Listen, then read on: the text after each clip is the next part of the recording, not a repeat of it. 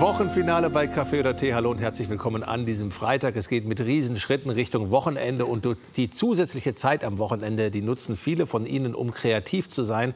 Da machen Sie sich vielleicht Gedanken um die Tischdekoration und wir holen heute den Wald auf den Tisch oder auf die Fensterbank. So sieht das Ganze aus, was Jasmin Zentner sich überlegt hat, was sie uns heute zeigen möchte. Also wirklich der komplette Wald äh, in ein einer, bisschen, ja, großer Teil des Waldes in einer Dekoration. Kleiner Was, Ableger. was reizt dich an so einer Jens. Fensterbanklandschaft? Also es ist für mich einfach jetzt so in dieser Jahreszeit, man äh, kus kuschelt sich zu Hause wieder in die Wolldecke, äh, kerzendicht und dann dachte ich, wie könnte ich so, so eine Stimmung auch ähm, in, in der Natur oder aus der Natur, ein kleiner Ausschnitt aus der Natur in die Wohnung holen. Und es ist für jeden ähm, machbar oder ist es kompliziert? Überhaupt nicht. Also, die Idee war die, dass ich gesagt habe, Rinde geht natürlich auch. Aus dem Wald von abgestorbenen Bäumen kann man verwenden. Aber ich Darf finde, man auch mitnehmen? Darf man mitnehmen. Rinde, wie gesagt, abgestorbene Bäume, also nicht hergehen und vom lebenden Baum noch entfernen. Und die Korkeiche, die ähm, fasziniert mich momentan. Äh, entdeckt habe ich sie eigentlich im Zoofachgeschäft. Ähm, man bekommt sie auch zum Teil bei äh, Kollegen. Äh, in Gartensendern habe ich sie auch schon gesehen. Und genau, dass man eben sieht, so die Rinde, Ja. ähm, dass es einzelne Stückchen sind von dem Kork. Ich habe hier noch ein Stückchen, genau, nochmal die noch- Rinde, wo wir den Kork nochmal äh, ganz genau sehen können. Also das wird wirklich aus der Rinde gewonnen, Ja, ist total lustig. ähm, der Kork. Und wir benutzen heute ja, die Rinde der Korkeiche, um damit zu arbeiten. Ist natürlich Das Rohmaterial, so ne? ein bisschen, ne? Ja, das stimmt. Und später kann man es, wie gesagt, dann auch immer noch verwenden. Also es verrottet nicht und ähm, ist auch wasserfest. Wie teuer ist denn so ein Problem. Stück Korkeiche, wenn ich das jetzt im Fachhandel Wird hole? je nach Größe, nach Gewicht oftmals auch berechnet und ähm, sagen wir mal so zwischen 10, 15, kann auch 25 Euro kosten, je nachdem, wie groß man es ähm, haben möchte. Und ähm, genau, die Idee ist also die, jeder hat ähm, ein Glas zu Hause, ähm, Windlicht. Ähm, dann dachte ich mir, okay, wie kriege ich jetzt das Ganze zusammen?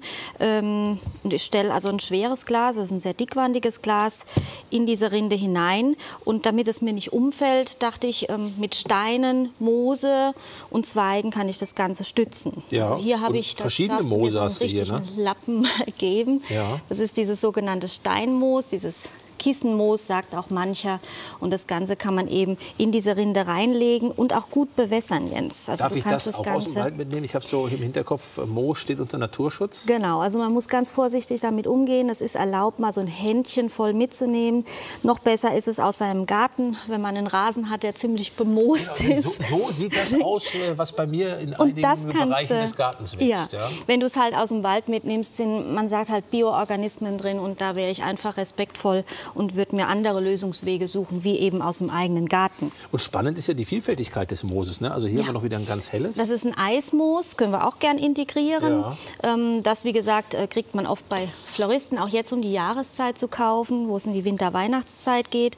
Und es wird im Prinzip so an dieses Glasgefäß angekuschelt oder mit Hilfe von Draht, den man sich in sogenannten Drahtkrampen äh, biegen kann, fixiert. Okay. So, und zusätzlich unsere heißgeliebte Heißklebepistole kann man das ein oder andere auch noch ein bisschen an der Rinde fixieren. Genau. Und ähm, was ganz toll ist, das ist dieser sogenannte Hauswurz. Ja, eine- eine unglaublich vielfältige Pflanze mit äh, faszinierenden Blättern. Wir haben dazu auch ein paar Aufnahmen, die wir Ihnen mal zeigen wollen, damit Sie sehen, wie vielfältig der Hauswurz ist. Ja, da sieht man ganz schön. Also Hauswurz heißt auch im Botanischen Sempervivum, ewiges Leben.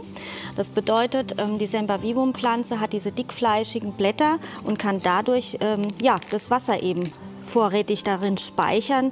Und dadurch ist die Pflanze einfach sehr unempfindlich, was die Pflege angeht. Und in der Fortpflanzung bildet sie diese kleinen Ableger ne? und dann kann man sie wirklich immer weiter vermehren. Genau, also die Mutterpflanze, das ist die größte Pflanze in dieser in dieser, dieser Dichte, die wird als erstes blühen. Wenn sie verblüht ist, wird sie absterben und die kleinen Kinder bilden sich darüber. Also man darf oder sollte die nicht jetzt auseinanderreißen, nur weil sie jetzt eben ähm, ja, äh, nicht mehr schön aussieht. Nein, das ist Na Nähr die Nährstoffe eben für die kleinen die die Mama da noch brauchen. Wichtige Info für unsere Zuschauer, Ja. die es jetzt nicht gesehen haben. Du hast jetzt ja hier ein Sempervivum eingesetzt. Ja, du hast es aus dem Topf ein. genommen. Ich Jetzt mach's machst du es noch mal. nochmal und schneidest den halben, halben Wurzelballen ab. Genau, also die Sempervivum, die Hauswurz oder Dachwurz, das bedeutet, sie wächst ja auch oft auf ja, ähm, äh, Steinen. Äh, also sie braucht nicht viel so, ne? Erde. Ne? Mhm. Genau, das sieht jetzt zwar sehr brutal aus, aber die Pflanze ist wirklich sehr, sehr unempfindlich und robust. Und ich kuschel sie im Prinzip hier in diese Rinde mit ein und sorge sie noch ein bisschen mit diesem Moos, was wiederum die Feuchtigkeit speichert. Und somit ähm, braucht man keine Sorge zu haben, ähm, ja, dass das Ganze eben nicht lange hält. Auf was sollte man achten, wenn man das alles so arrangiert? Was sind so die Richtlinien? Oh, ist es das Gefühl? Also du kannst es im Prinzip draußen im Freien äh, auch auf den Gartentisch stellen. Du also meine, wenn du es arrangierst, worauf achtest du beim Arrangieren? Damit es nicht überfrachtet ist, damit es zusammenpasst, damit das es gut ist eigene aussieht? Kreativität. Also mhm. möchte ich es eher puristisch reduziert oder möchte ich einfach auch mit Schnittblumen arbeiten? In dem Fall setze ich ein kleines Plastik- oder Glasröhrchen ein. Man kann jetzt hier von der Christrose was abschneiden. Die fängt ja jetzt auch an zu blühen. Und das Ganze eben dann auch noch integrieren. Also der Kreativität ist da keine Grenze gesetzt. Also mhm. da gibt es auch kein mehr oder weniger.